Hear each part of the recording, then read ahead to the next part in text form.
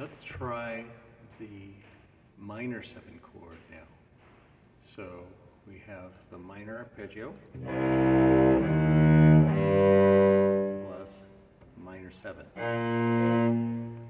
Okay, use whatever fingering works, but notice the patterns, R1 or R4 fingerings. Okay? Here we go. First, practice it slowly again, saying the note names, and then with metronome.